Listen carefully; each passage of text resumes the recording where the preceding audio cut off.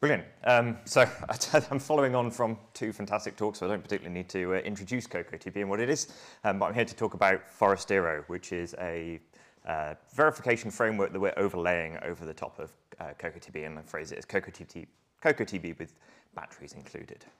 Um, so my name is Peter Birch. Um, I'm a VP of Engineering at VyperCore. Um, I live and work in Bristol in the United Kingdom. Um, there's some details for me if you want to find me. Um, but who are VyperCore? Um, uh, we are a company that's building uh, accelerated memory management technology in hardware. Um, we can offer up to five times faster Python with no code change, um, and we're quite a small team at the moment. Uh, 14 engineers in Bristol and Cambridge, um, and out of that is a six-person hardware team. Um, our problem is we have a really big challenge. We're building everything from a CPU and a completely custom memory system all the way up to a CPython runtime. Um, we have a very big challenge then. Uh, we have a small team, we have a relatively small budget. Um, we're largely using free and open source tools, so Verilator, cocotb, GTK Wave, um, and our design complexity is building really, really quickly. And we need, because we have that small team, we need design engineers to be building robust smoke tests, but we equally need our verification engineers to be pushing that much further into uh, constrained random test cases. And ideally, what we want them to do is use the same test framework, to use the same libraries. Um, and cocotb gives us a great foundation for that, but we needed something more from it. So to give you some idea of where this sort of fits in, um, is, we view, the perfect and super flexible framework, but it's very light touch when it comes to a methodology. It gives you um, the, the basis to write a single test. Beyond that, it's up to you. Um, on the other end of the spectrum, we have something like PyUVM. It brings the full UVM verification methodology. If you're happy with that, that's great, but there is an awful lot of sort of strictness to it. Um, and, and, so we sit in the middle ground. Um, we kind of take bits from UVM in terms of the idea of uh, drivers and monitors, scoreboards, but we give them to you in a much lighter touch way. You can partially adopt them, you can fully adopt them, um, and, and you can use a mix in your test benches. So one of the things that we've kind of rely on in Forastero is that uh, test, generally your DUT will look very similar to you as a design team. You're probably going to have a clock and reset. You're probably going to have a bunch of interfaces. You will have your I.O. hookup style of choice. This is ours. That may not be your liking. Um, but you know, you'll be using things like APB, AXI Stream, AXI, uh, full fat AXI. You might be using other, other interface standards. But generally, your design, if you follow good design practices is going to be fairly standardly formed. Um, so, uh, I've hopped around here a bit, sorry. Um, so uh, what we want to do is generally have a test bench that is wrapping that and taking those principles of, well, my design looks fairly normal.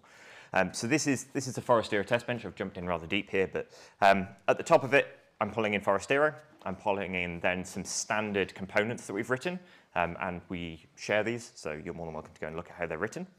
Um, we then declare a, a, test, a, a, class called testbench, inherits from this uh, Forastero primitive called basebench. Um, you identify your clock and your reset to the bench, your primary clock and reset, and we're going to use that in a lot of other places. If you have multiple clocks and resets, you can use those, but we, we just grab the default ones. Um, and then we start hooking up interfaces. So here we're wrapping that same DUT, and I'm saying rather than doing individual pin hookup, um, I have an APB interface. Um, it has got config, you'll see up there. I've got config as a common sort of part of the name, as a prefix. Um, so I'm, it's an APB interface. Here's my DUT. Here's the common prefix in there. Um, it's in a particular role. It's responding to an initiator, so it's a responder. Um, and then what I haven't put here is you can also specify an I.O. style. So you can say, this is how my signals are generally made up. The default I.O. style is our default preference, so it's the I underscore prefix name, signal name. Um, so that's what's going on behind the scenes. And then I'm gluing in um, a driver and a monitor for that signal, so um, something that's going to send and drive that interface with transactions, and then observe the responses coming back out as APB is responding to it. And I'm similarly wrapping an AXI stream interface. You can wrap full AXI interfaces, uh, and it just extends. The big bit then is when you get to your test your, your individual test cases. Uh, we slightly changed the cocotb syntax, um, and uh, we have a custom at testbench.testcase, or whatever your testbench class is, .testcase. Um, underneath, um, we're effectively stitching a layer around the cocotb test bit. Um, we're adding some custom reset initialization routines and so on and so forth, um, and then it will just kick off your test. What's missing here is all of the stuff that's setting up your clock, your reset, initiating IOs. Um, it's all automated by the test bench behind. There's a, there's a standard sequence. Uh, if you want to modify that sequence, you can turn off the reset, you can turn off the IO initialization, you can customize the timings around that. So um, I think by default, it's sort of, uh, we put your design into reset for 10 cycles, initialize some IOs, wait for 10 cycles, bring it out to reset. Um, but if you want to play with that, you, you've, you've got the control to configure it. Um, and then once you've set up your design, you reset it, uh, which has all happened for you, you just start providing stimulus to the design. Um, so here we're going to the APB driver that we've got, and we're just enqueuing a access, um, and Forastero in the background will work out the first time it can service that and run it into your design. Uh, you can wait for a response to come out, um, check it in however way you want, uh, and, and move on. Um, if you've queued up lots of stimulus, Forastero will automatically sync that into your design. Your test case doesn't have to sit there and wait around for it. It can just chuck it um, at, at, the monitors and drivers and, and, wait for it to complete. Um, so sat behind this uh, is base I.O. So base I.O. is how we're wrapping our, our buses, our signals. Um, they're, again, they're just classes. They're relatively easy to declare. Um, you pass through uh, the DUT, the prefix name, the IO role, whether it's a responder or initiator, uh, and the IO style, and then you just give it a list of the um, sort of signal extensions you want. So here's, here's the ones for APB, um, and then it's, as we saw, it's fairly simple to, to stitch up. Um, we, we're not always completely disciplined in how we interface uh, with things. So uh, Axi Stream, we may not implement every single signal every single time. Um, so we have a graceful fallback. So if you, for example, don't want to implement um, strobing against your interface and you're just always going to send uh, every channel being valid, you can leave that out. Uh, you'll get a little warning in your log saying, I couldn't find the strobe signal uh, and, and, it will move on. You can, in the interface or in the instance of the interface, say, uh, if this signal isn't provided, this is a default I want you to use. So, you know, I want to, it always to sample as all bits set or all bits not set or, or, or anything in between. Um, we use data classes very heavily. Um, so we have a, a, custom base class for data classes, which attaches on uh, the site, uh, the cycle of the simulation at which it was sampled. Um, but other than that, they're just data classes. We then use these uniformly in drivers, monitors, and scoreboards. Uh, they're really powerful. You can do things with data classes like, say, uh, for example, if I wasn't interested in the mode field in comparisons, I can put an exclusion in the data class saying never compare this field, and it will silently ignore it for you. That can obviously be very dangerous, but if you're using it to attach extra metadata simulator uh, information your simulation needs to look at, but you don't care about your scoreboard, you can, you can use it for that, which is quite powerful. Uh, drivers become really, really simple um, by default. Uh, so your driver already has all of the guts in it for queuing up your transactions, um, for scheduling when that those can go into the design, for notifying other parts of the system. So all you need to do is do the IO stimulus bit. Um, you can do self.io.set, um, the component you want to address to, the bit of information you need to put in, and so on and so forth, um, wait for clock edges, and so on and so forth, and, and down you go. Um, this equally has the graceful fallbacks. So uh, for example, say p-enable wasn't implemented in my interface, um, it will just silently skip over it. It will have warned you at the front that it couldn't find it, uh, and then later on it will just uh, omit the signal setting. Uh, monitors I haven't shown in this presentation, but they look very similar. Um, they monitor for signal values and then they emit it um, back upstream. Um, so stat, we've got monitors, we've got drivers, um, we've also got a built-in scoreboard. So if you register a monitor to the test bench, it will be automatically given a scoreboard channel unless you say otherwise. So any transactions that it captures are going to be queued up, and if they are not matched by the end of the simulation, your simulation will fail. So uh, every monitor gets a de dedicated scoreboard channel. Um, as those signals are captured, they'll be pushed in and then your golden reference model or your test case needs to provide reference transactions which get pushed into a separate queue. Um, the scoreboard then automatically decants, uh, compares those queues and reports failures. It can run in either a fail fast mode where the very first comparison it will abort the simulation, or it can run in a full reporting mode where it waits to the end of simulation, tells you about everything that's gone wrong. Um, it is a uh, fairly permissive scoreboard in that you don't have to have golden reference transactions queued up before you start to push uh, captured transactions. You can do it either way around and it will just marry the front of those two queues together whenever it sees um, a matchup. Sequences. So we've taken a slightly different tack. Um, for anyone that, that's come from a UVM world and heard of sequences and sequences and virtual sequences and virtual sequences and the, the stack of stuff that builds up, um, we're taking a rather light touch approach to this. So obviously you will have different monitors and drivers in your test bench. You will have overlaps between those. They'll want to, you want to commonly interface with different drivers. Um, so you need something that works between them. And for that, we use sequences. Um, sequences uh, are written a bit like this. So they are a um, normal sort of async function. Um, at the very front of it, you give it a decorator saying this is a sequence, and then you list out uh, the things that you require that sequence to have. So I know this sequence is always going to need an APB initiator driver, it's going to need a monitor, and it's need a, a, a, a full AXI driver.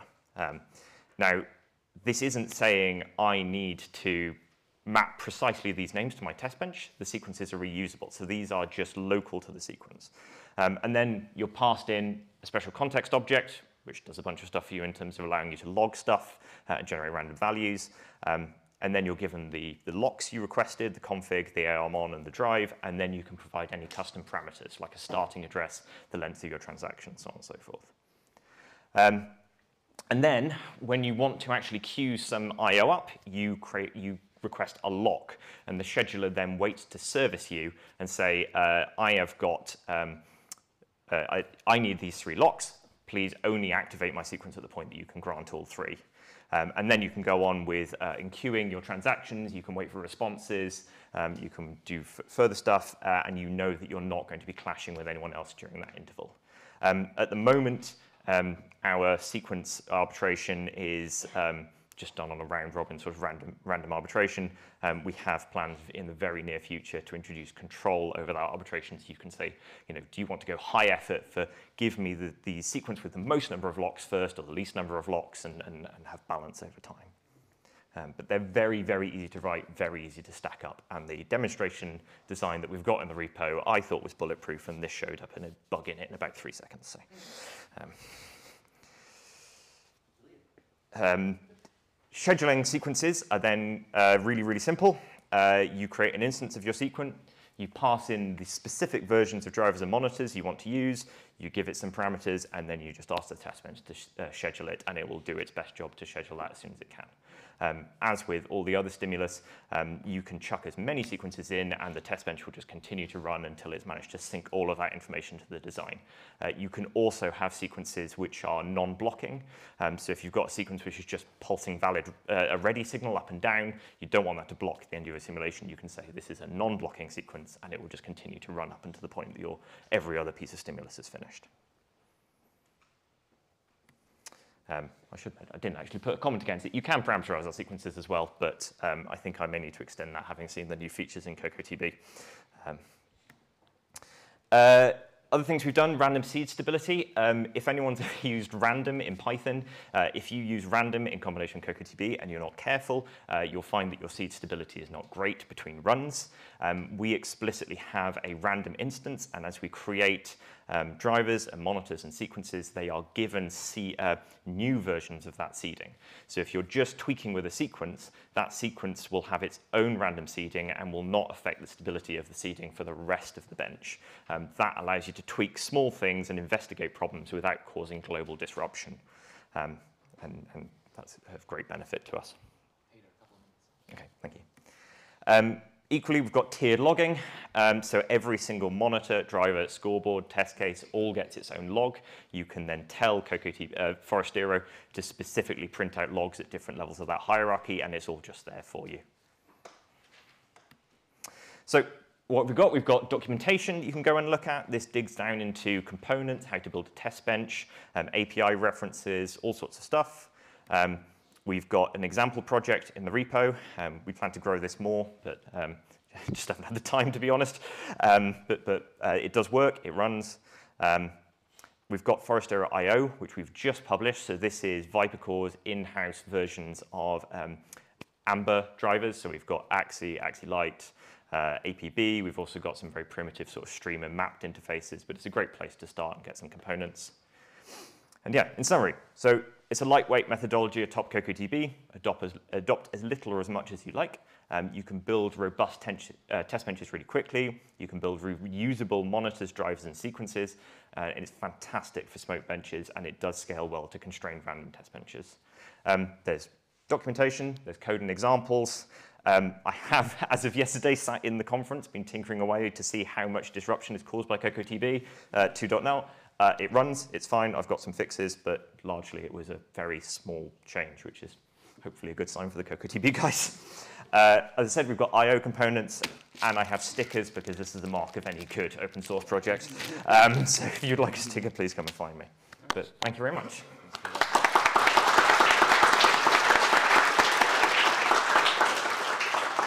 Okay, I'm going to open with the first question. Um, so there was already some sort of library of bus drivers. It was pretty minimal. This is cocotb bus, was it? Yeah, yeah. It, it, was originally in the repo, and then it got split out. Um, I understand that is this the most advanced kind of bus driver set at the moment, or is this the mo most well maintained set, or? So I, I, I, used to love cocotb Bus, uh, and then I guess in the dark days of cocotb, cocotb sort of rejuvenated, but cocotb Bus didn't Got it. so well. Yeah. Um, so this was initially all based on cocotb Bus and sort of overlaid a bit more structure to it. Um, it is now completely independent. Um, yeah, cool. But yeah, so certainly inspired by. is, is the intention that this becomes like the main set of bus drivers or like you know framework to do bus drivers long term? You, you, is, is there like a battle going on here, or is it just kind of like are you um, the default because you're the only guy doing it, kind of thing? um, I'd I'd rather say just like I think it's another way to go. It's a bit you know it's. Uh, it's, it's another option for people who don't want to adopt UVM. Yeah. I, I don't, I, I haven't talked to the cocotb guys yet, but I, it's not like I'm going to propose that this becomes part of the core library. I think the ah. oh. cocotb itself being so simple is just a fantastic place to start. Yeah. And if you want to overlay a methodology like this, that's great. I think what cocotb could do is provide a sort of list somewhere of here are methodologies that are out there and you might want to adopt one of these. Yeah, cool. But if it's the best implementation, I, you know, I don't see why it doesn't get, you know, adopted as the default, but yeah. Anyway, meritocracy, right? Sorry. Sorry? I'm using another one. Olaf's using another one, so, all right. But it's the best because Olaf is using it. He's not just is it a, some bus driver IP, it's a methodology. No, I know, I know, I know, but, but at some point, um, it is very valuable. Like whoever has the most useful things wins, right? Probably, so. Windows. We're happy yeah, yeah. Cool. All right, and anyway, opening the floor to other folks. Yes, Christian. I mean, this is just a continuation on the team, but like uh, cocotb Bus has other things aside from Amba. Like how difficult, how much work would it just be to port to to what you're doing?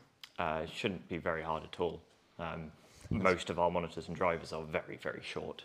Mm -hmm. um, uh, even our full AXI drivers are 30 lines each. They're very small. So ba basically, we could do this on Sunday. Yeah, absolutely. Right. Cool. All right. So, so Sunday activity is converting cocotb bus to to uh, Forastero. Is that? All right. Sounds like a yes. Cool. Okay.